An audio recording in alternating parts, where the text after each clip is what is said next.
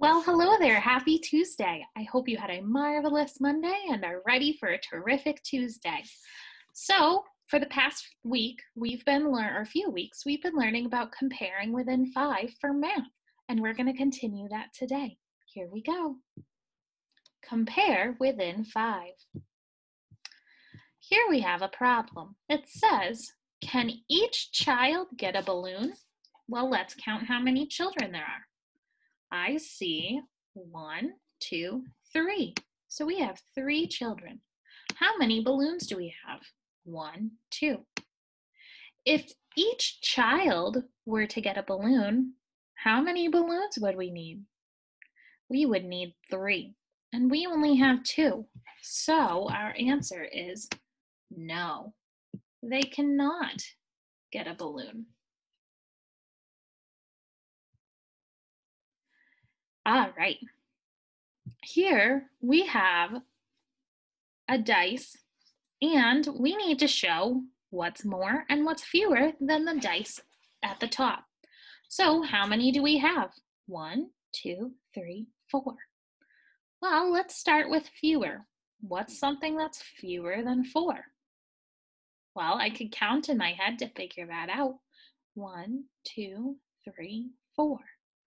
So any number before the 4 is fewer. So I could, I'm going to put 3 because I know that 3 is 1 less than 4.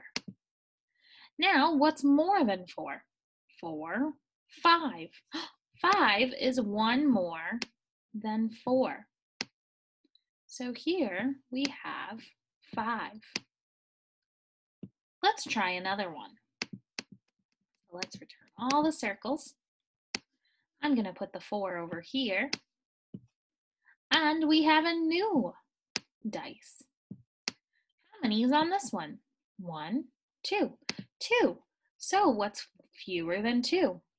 I know that 1 less than 2 is 1 because when I count one, two, the 1 comes before the 2. Now let's count to figure out what's more. One, two, three, four, five. So three, four, and five are all over two or more than two. So I'm going to put four because four is more than two. And so is three, and so is five. So there we go. All right, here we have three red cups and five blue plates. I want to know which is more. Well, I can see if I line up the cups to the plates. There are two more, so that means there are more plates than cups. Let's count the dots. One, two, three, four, five. There are five red dots. How many purple? One, two, three, four, five. There are also five purple dots. I'm going to circle both numbers because they are the same amount. They are both equal, which means the same amount. Now, and even though if we notice, the fives dots are in different positions, but even though they're different, they still equal the same amount. They are both five. Show five.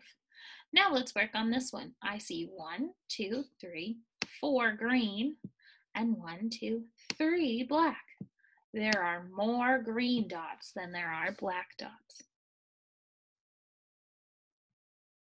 Now, it says, what does it mean for two groups to have an equal number of objects? Well, we know that this middle row shows an equal number of objects. And equal means that they're showing the same amount. They both have five. Which is greater? Well, what does greater mean? Greater also means more. So which one has more circles? We have four and we have five. Well, I notice that this one makes a box. these four circles. These four circles also make a box, but we have one more. So there are more black circles than there are green circles. So the five is greater. And that's the end of our slideshow for today. So now it's your turn to practice. You're going to be able to practice and show me what you remember about comparing within five by completing one of your iReady practice activities. If you have any questions or need some help, I am always here to help out. You can always have a parent email me, text me, or give me a phone call. I'd be very, very happy to help. All right, I wish you good luck and I hope you have a terrific Tuesday. I will see you soon. Bye bye.